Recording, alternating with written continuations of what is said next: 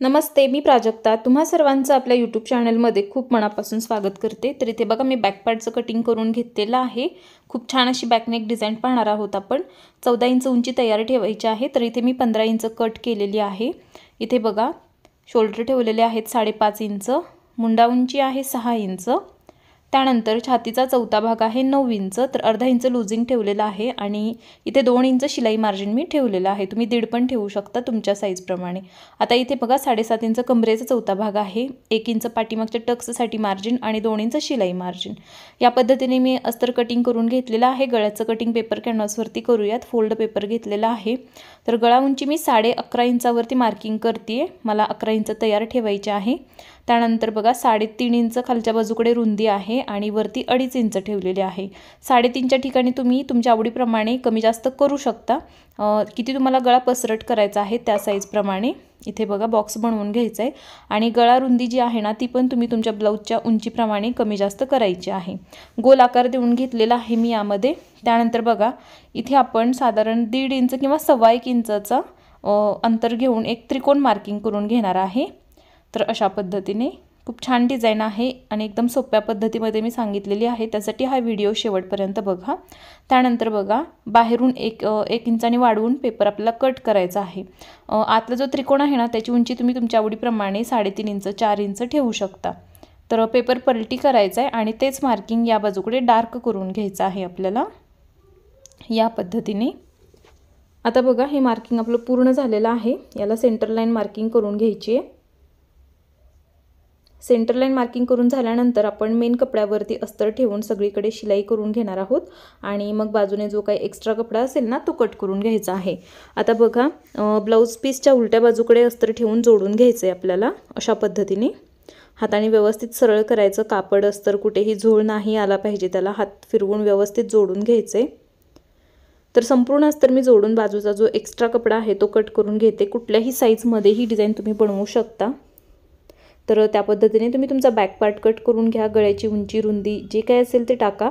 आणि गळ्याची डिझाईन बनवायची फक्त पद्धत जी आहे ती अशीच राहील कोणत्याही साईजमध्ये तर बघा अशा पद्धतीने आपण बाजूचा एक्स्ट्रा कपडा जो आहे तो कट करून घेणार आहे.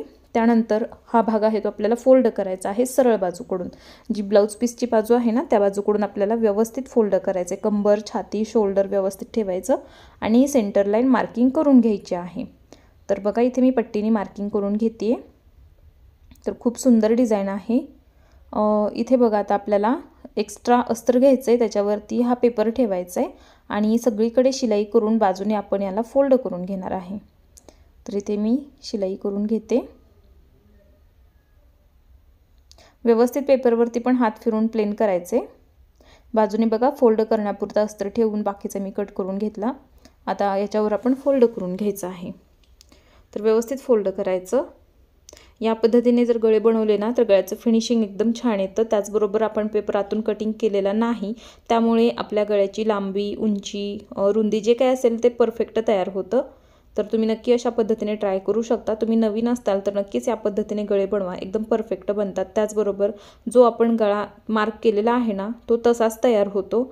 तर बघा त्यासाठी काय करायचं? जे आपण मार्किंग केलेलं आहे त्या मार्किंगवरून बरोबर आपल्याला शिलाई करून घ्यायची आहे. पण जो त्रिकोणमधला आहे ना त्याच्यावरती शिलाई करायची नाही. जो राऊंड शेप आहे बरोबर त्यावरून शिलाई करायची आहे. तो जो पार्ट आहे तो आपण एक्स्ट्रा कटिंग करून तिथे अटॅच करणार आहोत. तर तो कसा करायचा आहे ते पण पुढे जाऊन मी सांगते तुम्हाला. अगोदर गोल गळायच्यावरती आपण बनवून घेऊयात. बघा आतून याला कट करून घ्यायचं आहे. साधारण अर्धा इंचाचं मार्जिन ठेवून कटिंग करायचं. कटिंग झाल्यानंतर बघा गोल गळा आहे तर कट दिलेच पाहिजेत नाही तर हा जो भाग आहे तो व्यवस्थित फोल्ड होत नाही पलटला जात नाही. तर कट द्यायचे कट दिल्यानंतर मग याला पलटी करून आपण वरून फिनिशिंगची शिलाई देऊन घेणार आहोत. तर बघा कट देताना फक्त आपली शिलाई कट नाही होणार याकडे लक्ष ठेवायचं आहे. भरभर कटिंग करत गेलो तर शिलाई कट होण्याची शक्यता असते. त्यासाठी व्यवस्थित कट देऊन घ्यायचेत. बघा व्यवस्थित फोल्ड करून मी पूर्ण गळ्यावरून शिलाई करून घेते. फोल्ड करताना पण लक्षात ठेवायचं आहे वरचा कपडा आहे तो आत नाही गेला पाहिजे किंवा जे आतलं अस्तर आहे ते पण बाहेर नाही आलं पाहिजे व्यवस्थित आपण त्याला फोल्ड करून शिलाई करून घ्यायची. आता इथे टक्स शिलाई करून घ्यायची आहे अर्धा इंच रुंदी चार इंच उंची अशा पद्धतीने. दुसरा पण असाच घ्यायचा साईड पार्ट जो आहे ना तो बरोबर सेंटरपर्यंत फोल्ड करून टक्स घ्यायचा. म्हणजे एका रेषेमध्ये टक्स येतात आणि एका साईजमध्ये पण येतात दोन्ही बाजूकडे.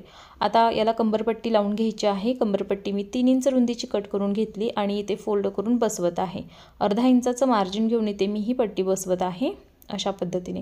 पट्टी बाहेरच्या बाजूकडे करायची आणि याच्यावरती पण आपण शिलाई करून घेणार आहे. त्यानंतर पूर्ण पट्टी मग आतमध्ये फोल्ड करायची आणि वरून एक दाबशिलाई देऊन घ्यायची. खूप छान डिझाईन आहे. ज्यांना ज्यांना गोल गळे आवडतात बऱ्याच जणांना गोल गळे आवडतात. त्यामध्येच आपण ही डिझाईन बनवलेली आहे. वेगळा पॅटर्न आहे तर तुम्ही पण नक्की ट्राय करू शकता.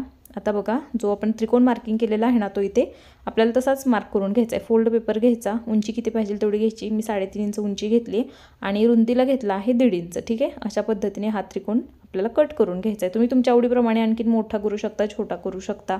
याला अस्तरवरती शिलाई करून घ्यायचं आहे. तर बघा अशा पद्धतीने. थोडंसं अस्तर बाजूने ठेवून बाकीचं कट करून घ्यायचं आहे. तर मी थोडंसं ठेवते अर्धा इंच ठेवून बाकीचं कट करून घेतलं. आता मेन कपडा घ्यायचा आहे सरळ बाजूकडे अशा पद्धतीने आपल्याला हा भाग ठेवायचा आहे त्रिकोणचा. आणि पेपरला चिटकवून आपण याला शिलाई करून घेणार आहेत. मी पेपरवरून शिलाई केलेली नाही पेपरला चिटकवून शिलाई केलेली आहे. आता बघा जिथे टोक आहे तिथलं कापड कट करून काढायचं नाही तर टोक व्यवस्थित बाहेर निघणार नाही. थोडंसं कापड ठेवून काय करायचं आपण याला सरळ करून घेणार आहे. सरळ व्यवस्थित झाल्यानंतर याला लेस लावून घ्यायची आहे. तर बघा इथे लेस आहे व्यवस्थित मी लावून घेते. तर तुम्ही तुमच्या आवडीप्रमाणे तुमच्या ब्लाऊजवरती जी मॅचिंग होणार आहे तशा पद्धतीची इथे लेस लावून याला डिझाईन करायचे. बघा ही लेस तुम्ही डबल राऊंडमध्ये पण लावू शकता सिंगल पण लावू शकता. मी इथे सिंगल लावलेली आहे. आता बघा डिझाईन करण्यासाठी पट्ट्या बनवायच्या आहेत. तर एक इंच रुंदीची पट्टी कट करून घ्यायची.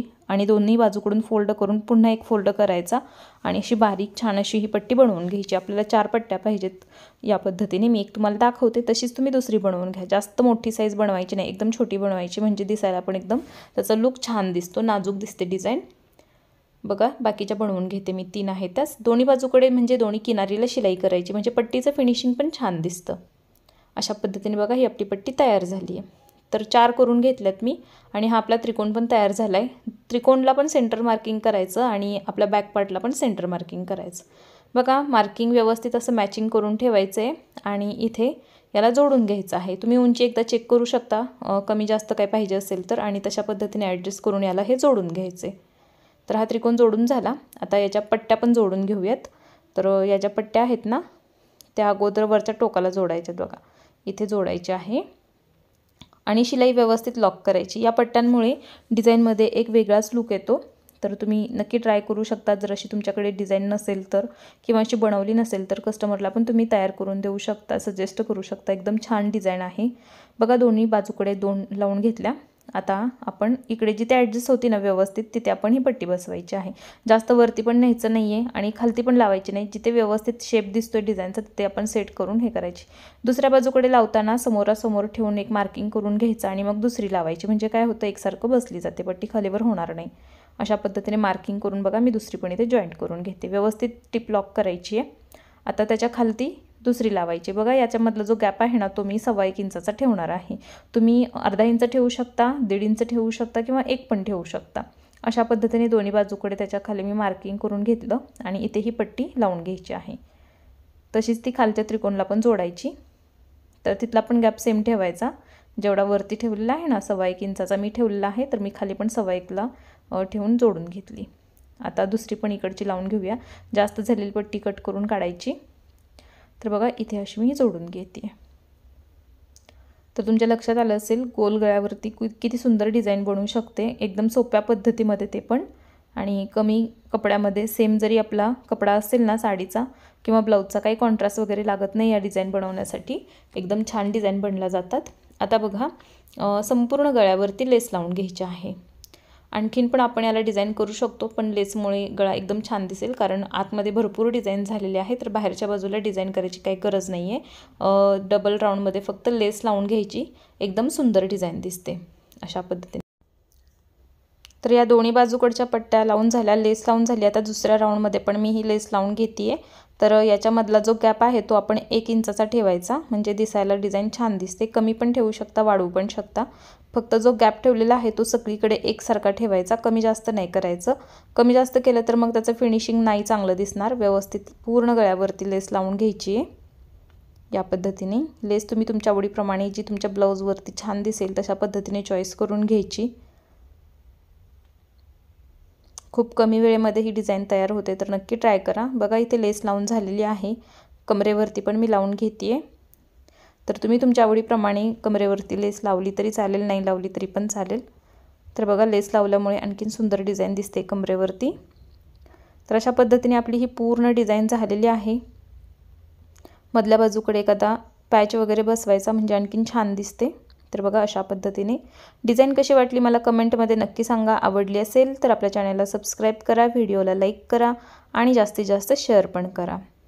तर खूप छान याचा लुक आलेला आहे. फक्त लेस लावून आतल्या बाजूकडे आपण ही डिझाईन केलेली आहे तर एक वेगळाच लुक त्याचा तयार झाला आहे तुम्हाला आवडली असेल तर नक्की व्हिडिओला लाईक करा जास्तीत जास्त शेअर करा कमेंट करून सांगायला विसरू नका. आणि तुम्ही जर ही डिझाईन बनवली तर तुमची डिझाईन कशी झाली ते पण नक्की सांगा. चला तर मग पुन्हा भेटूयात आपण अशाच एका नवीन व्हिडिओमध्ये. धन्यवाद!